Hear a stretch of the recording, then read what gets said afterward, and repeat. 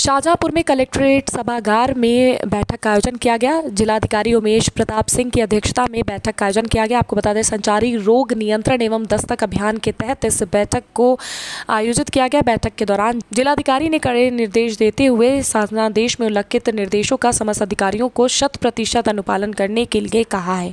साथ ही साथ जिलाधिकारी ने कहा कि संचारी रोग नियंत्रण अभियान शासन की प्राथमिकताओं में होना चाहिए। लापरवाही करने वालों के विरुद्ध कड़ी से कड़ी कार्रवाई की जाएगी।